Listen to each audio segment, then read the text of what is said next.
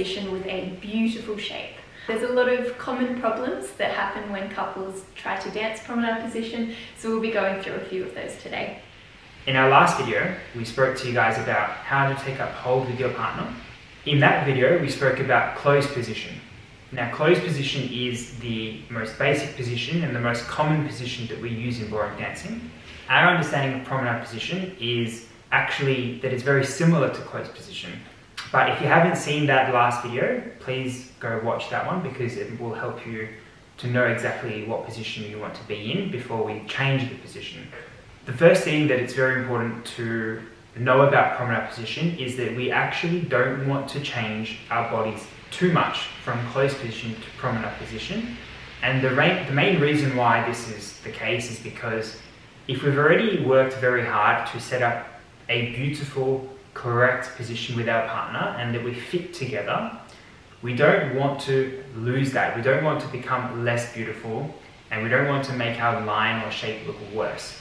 So there's only subtle changes that we do to get from closed position to promenade position. Before we actually get into that, we're just going to quickly discuss some of the common mistakes that we see in couples that try to dance promenade position but maybe don't 100% nail it.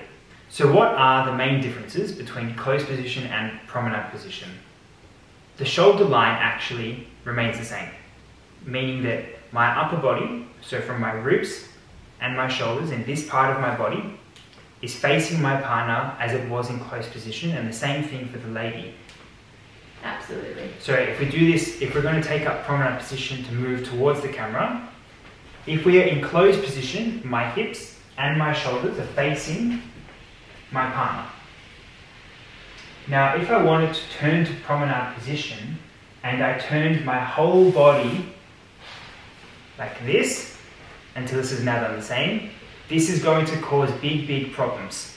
Okay, so what we want to do is that from the closed position, we actually want to turn our feet and our head, but we want to keep our upper body towards our partner.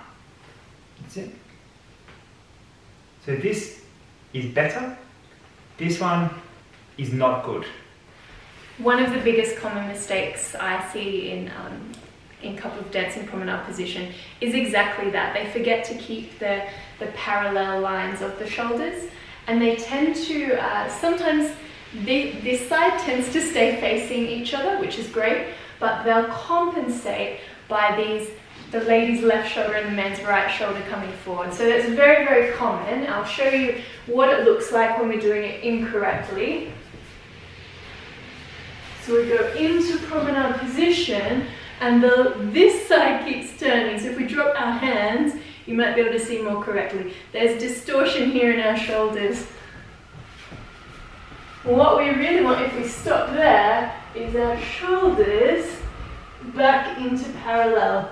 It's just my feet and my head that have moved into promenade position. Another very common problem that we see is actually in the movement of the frame. So, like we just discussed, that we want to keep our upper bodies in the same position as closed position, the arm line position is exactly the same as well.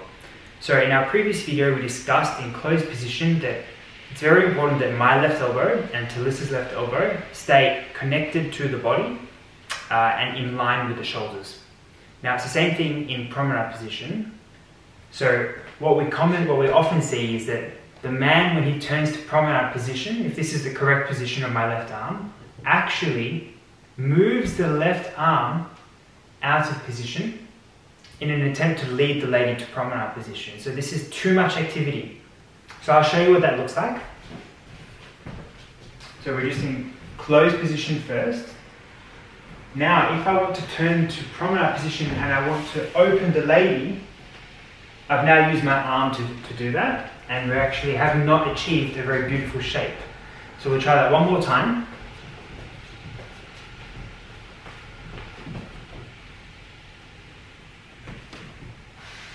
And my left arm stays basically where it is and now this is a much more beautiful line and a promenade shape. One of the third common problems that we see uh, in our dances, uh, specifically for the lady, is that there um, is an issue with the lady's head. So a lot of the ladies, um, while we need to be very active and accurate in what we execute ourselves, we cannot anticipate the direction that we are moving. So a lot of uh, times I see lady dancers dance a promenade position and their head is uh, quite upright and often it is too far forward. It is the thing moving the couple in the direction of the promenade position um, and that's not what we want. So I'll show you what that looks like when we dance it incorrectly. The lady dances her head incorrectly.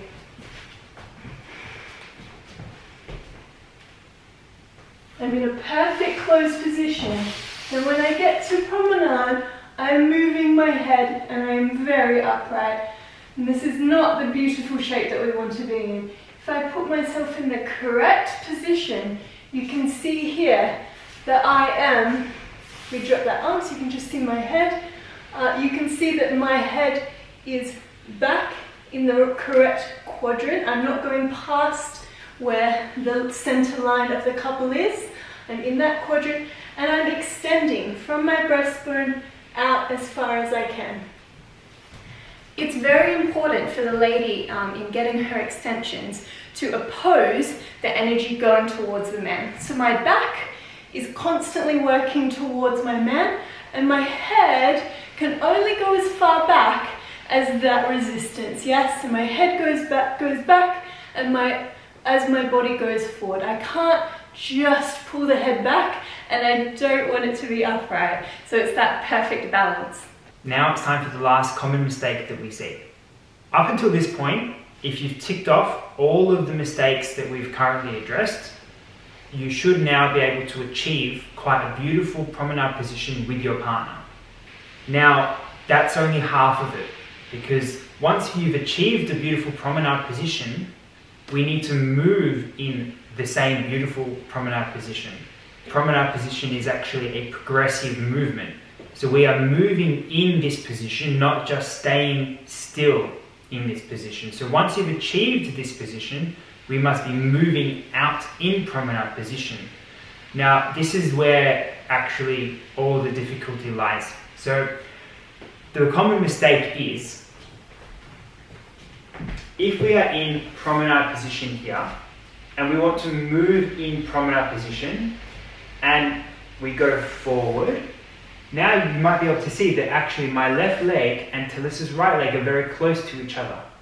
So if we are in a beautiful position here, but our legs are too close to each other, when it comes time to moving, it's very difficult. Impossible. And you, can, and you can see straight away we've lost our shape.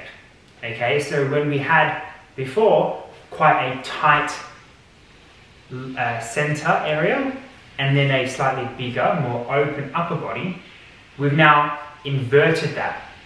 So because we didn't have the space to take this step, we've actually tried to create space in the lower part of the body, but we've actually lost our shape. So it's very important that when we dance promenade position, that the man actually tries to open, I'm sorry, sorry, move a little bit further away from the camera, that as the man, I try to move slightly open Maybe that's too much, maybe here.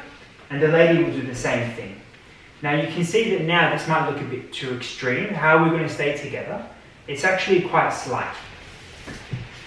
So if we are in promenade position, we both slightly open the legs, very nice, and now we can take another step in promenade position and not changing the shape. The key there is really making sure that we have a slight V action of our outside legs cr that creates the space for our back swinging leg to move through and pass the partnership. Yeah, so that second step is actually the most difficult step in promenade position. I hope that's given you some good ideas on how to create a beautiful shape for our promenade position.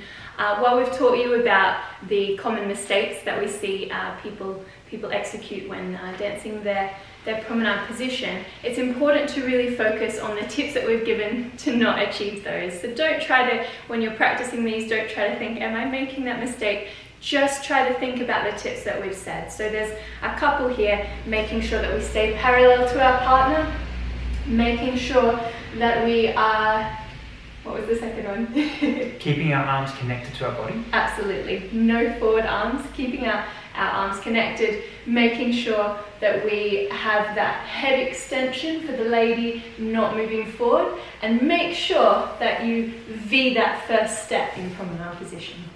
If you've enjoyed watching this video and you've found some of our information useful, then please give it a like and subscribe to our channel.